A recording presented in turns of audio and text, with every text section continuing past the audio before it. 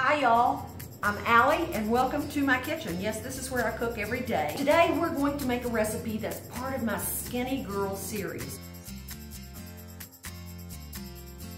We've done Skinny Girl Chicken, we've done Skinny Girl Tuna, and those are both at my website. And today we're gonna do an amazing Skinny Girl pork. You are going to love it. Wait till you see what we do with it. We've got some olive oil, we've got some spice mixture and salt and pepper, goat cheese, we've got fresh greens that are chopped up, We've got two boneless thick pork chops, a little bit of extra salt and pepper, and some cooking twine if we need it. And uh, so that's what we're gonna have. Now, I'm gonna serve it up with something different. It's really not part of the recipe, it's just what I would serve it up with. You can serve it with whatever you want. But uh, let's get started.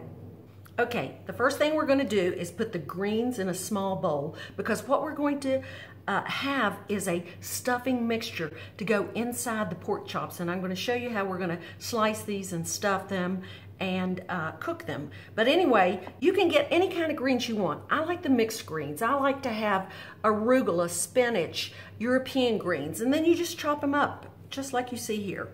We've got some goat cheese, so we're gonna put this in. And we've got our spice mixture, and you can see which spices I used at the website, allyskitchen.com, so we're gonna put that in.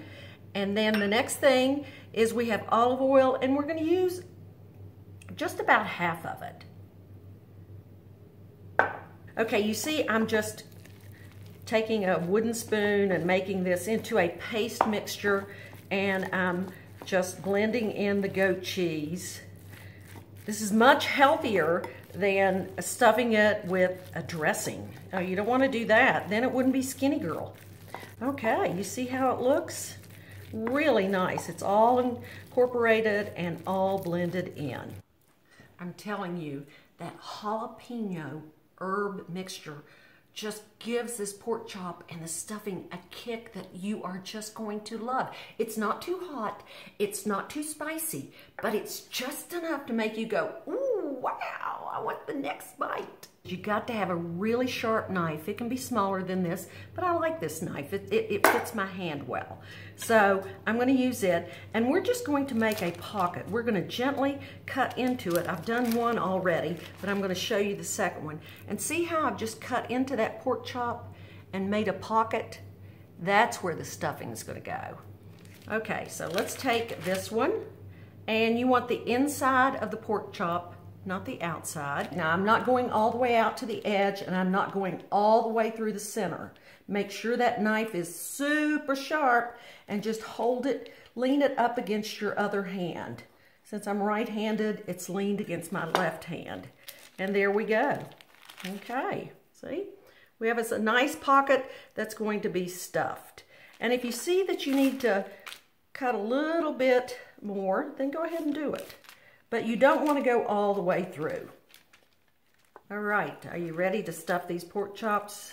We're going to take some of our mixture and we're just going to push it in with our hands and stuff it in there. There's plenty for two pork chops. You might even be able to get three pork chops out of this. And then we're just going to kind of scooch it together. Scooch it together just like this. And what you have is a beautifully stuffed pork chop. If you want to use the cooking twine, and make sure it's cooking twine, you can get this at any cooking store or at a big box like Walmart, then just cut off a little string of it and as you're cooking it, some of the filling may ooze out. That's okay. We're, uh, we'll, we'll keep that. But just wrap the cooking twine around and then just tie a little knot with it like this and you've got it together and then once it's cooked and uh, uh, done we'll snip that off but you can use the cooking twine if you want to just make sure that it does stay together even more securely. This is a skillet that I absolutely love. It's a carbon steel cast iron skillet and you can see that it has a more shallow rim around it. It, it kind of uh, fans out. That makes it easier for flipping and turning the pork chops or whatever you're cooking in here. And I use this, I will cook, oh, eight or 10 eggs in it. It just cooks so evenly. And it's called carbon steel. So I'm gonna coat it with a little bit of olive oil. Uh, I'm gonna get it really hot. We're gonna put a little bit of salt and pepper on those pork chops and we're gonna start pan searing in this cast iron skillet.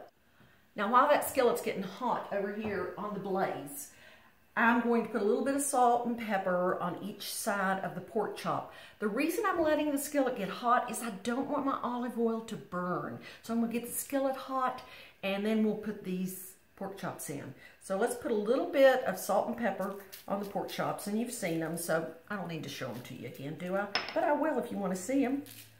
Oh, they're going to be even more beautiful. Wow. Look at these. Yeah. See the stuffing in there. Looks good, doesn't it? Mm, wait till you see what we're going to eat it with. We want it to be really hot because we want to hear a pan sear. We want to hear that sizzle. That means something good's happening. You hear that? That's what you want to hear. Now, we're going to let that pan sear on each side about two minutes, and then we're going to cover it with a lid and just turn down the heat and let them cook a little while. Okay, I want to show you what they look like. They've pan seared about two, two and a half minutes on each side, and I used two spatulas in order to uh, securely flip. And you can see some of the filling is just oozing, but it's not really coming out. And these have been pan seared on both sides. Now what we're going to do is we're just going to put them back on the blaze and cover them with the lid and let them cook all the way through. There you go. That's about as beautiful as it gets. Oh, if you could smell it, yum, yum. Our pork chops are ready and we're going to remove the lid and just put it to the side.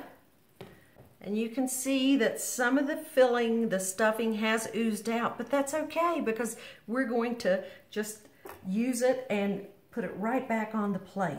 So let's look at one of these pork chops. And again, you might want to use two spatulas. Oh man, that really looks good. Okay, let's plate it up. A perfectly delicious meal that you can cook in less than 30 minutes. Skinny Girl stuffed pork chops. Do not forget to snip off the cooking twine. Use kitchen shears to snip it off, but it's on a bed of mint peas and grapes, and this is going to taste so delicious on this pork chop, and I'll just put that little mint leaf right there. This is the most fun part of this cooking video is getting to taste it with you. So I've cut a slice of the pork chop off and I've got some of the filling. Are you ready? I don't have to say anything. Just watch my facial expressions.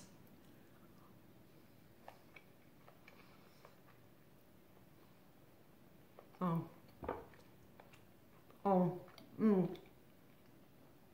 That is so delicious. That filling I could eat by itself. In fact, I do think I'll take a bite with just a few of the peas. Mmm. Oh, man. You're going to want to make this Skinny Girl stuffed pork chop. I'll see you next time on the next Real Cooking with Ally in Ally's Kitchen. If you're not familiar with my website, it's allyskitchen.com. Now, if you're watching this, please tell me where you're from and uh, what you want me to make maybe in the next video because I make these real cooking videos. These are reality cooking videos, usually one take with just me and my Samsung camera.